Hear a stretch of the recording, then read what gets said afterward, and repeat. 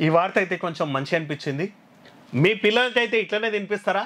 అన్నంలో అన్నంలో రాళ్ళు వస్తుంటే పట్టింపేది? టాయిలెట్లలో నీళ్ళు కూడా వస్తలేవు. మరిమట్ల ఏకలవ్య పాఠశాల స్టాఫ్పై కేంద్ర మంత్రి సంజయ్ ఫైర్ అంట. అన్నంలో అన్నంలో రాళ్ళు వస్తున్నాయని టాయిలెట్లలో నీళ్ళు కూడా సరిగ్గా రావడం లేదని విద్యార్థులు కేంద్ర హోంశాఖ సహాయ మంత్రి బండి సంజయ్కి తమ సమస్యలు చెప్పారు.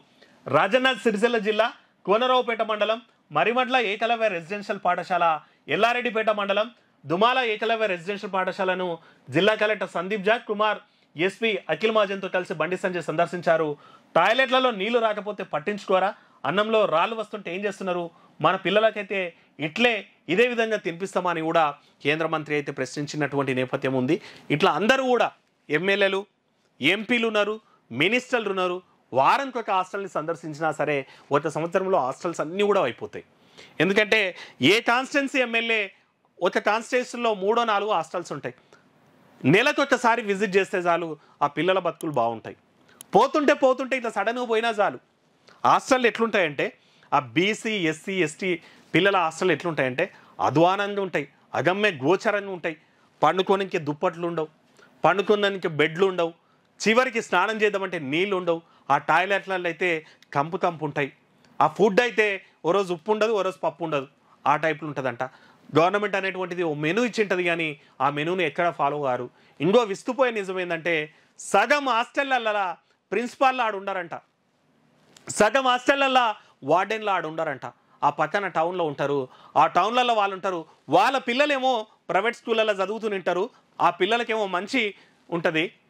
ఏదైతే పిల్లలతోటి ఈ పిల్లల మీద గవర్నమెంట్ పెడుతున్న దాని మీద వీళ్ళ జీతాలు వస్తుంటాయి ఈ పిల్లలు మాత్రం ఆ కాంట్రాక్టరు అక్కడ ఉండేటువంటి ప్రిన్సిపాల్ అక్కడ ఉండేటువంటి వాల్డెల్రు కొమ్ము కైపోయిపోయి ఈ పిల్లల్ని ఎవరు పట్టించుకునేటువంటి నాదులు ఉండరు అనేటువంటివి చాలా చోట్ల విమర్శలు ఉంటాయి ఇట్లా పోవాలి ఇట్లా ప్రశ్నించాలి నిజంగా బండి సంజయ్ నేను ఆ ప్రశ్న అడిగింది అయితే మంచి అనిపించింది. ఇట్లా అందరూ కూడా ఎమ్మెల్యేలు ఎంపీలు ప్రజాప్రతినిధులు కలెక్టర్లు ఇప్పుడు మనం చూసినాం తెలంగాణ ఎన్ ఎన్ని చిన్న చిన్న జిల్లాలు అయిపోయినాయి ఎంతమంది కలెక్టర్లు ఉన్నారు కలెక్టర్ అందునా సరే నెలతోసారి మొత్తం సరౌండ్ కొడితే ఓ కలెక్టర్ ఒక కలెక్టర్ సంబంధించినటువంటి పరిధిలు ఎన్ని ఉంటాయి? ఓ పది హాస్టళ్ళు ఉంటాయి.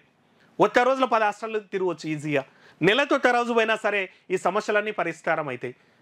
గవర్నమెంట్ ఏమో వేల కోట్ల రూపాయలు వాళ్ళ కోసం ఖర్చు పెడుతున్నామంటది.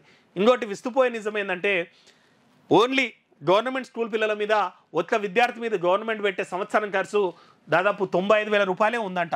తొంభై ఐదు వేలు తొంభై ఎనిమిది వేల రూపాయలు ఉందంట. తొంభై ఎనిమిది వేల రూపాయలే ఉందంట ఈ ఫీజు ప్రైవేట్ వాళ్ళకి ఇచ్చినా సరే రాజల్లా అట్లే చూసుకుంటారు చదువు చదువు అట్లే చెప్తారు ఫుడ్ కూడా అట్లే పెడతారు. తొంభై ఎనిమిది వేల రూపాయల మంచి లగ్జరీ హాస్టల్లో ప్రైవేట్ హాస్టల్లో వస్తాయి. మరి గవర్నమెంట్ దాంట్లో ఒక్క విద్యార్థి మీద అంత ఫండ్ పెడుతున్నప్పుడు సంవత్సరానికి మరి వాళ్ళ బతుకులు ఎందుకున్నో అట్లా తెలియదు ఎందుకంటే ఈడేందంటే తల్లిదండ్రులు అరవై వేలు డెబ్బై వేలు పెడితే కూడా మంచి మంచి హాస్టల్లో ఈరోజు ఎడ్యుకేషన్ దక్కుతుంది. ఇక్కడ ఫీజు కట్టింటాడు కాబట్టి తల్లిదండ్రి ప్రశ్నిస్తాడు. ఆడ హాస్టల్లో ఉండేటోళ్ళు ఏం తెలియనోళ్ళే ఉంటారు. పాపం నిరుపేదలు బడు బలహీనలు ఉంటారు. రెండవది ఎవడన్నా ఉన్నా సరే గవర్నమెంట్ హాస్టల్లో మనం ఎవరిని అడుగుతామని ప్రశ్న వేస్తే ఏమవుతుందంటే ప్రభుత్వ అధికారిని నువ్వు ప్రశ్నిస్తావా? ఉద్యోగంలో ఉన్నాయని నేను సర్కారు ఉద్యోగంలో ఉన్న నన్ను నన్ను నిలదీస్తావా అనేటువంటిది మళ్ళీ పైపెచ్చు ప్రశ్న ఉంటుంది. అంటే వాళ్ళని ప్రశ్నించేటోళ్ళు ఎవరు ఉండరు వాళ్ళ మీడియా వాళ్ళు పోతే మీడియా వాళ్ళ మీద మళ్ళీ కేసులు పెట్టేటువంటి సందర్భాలు ఉంటాయి. కాబట్టి అధికారులే పై అధికారులే స్పందించాలి ఇట్లాంటి వాటి మీద చర్యలు తీసుకోవాలి.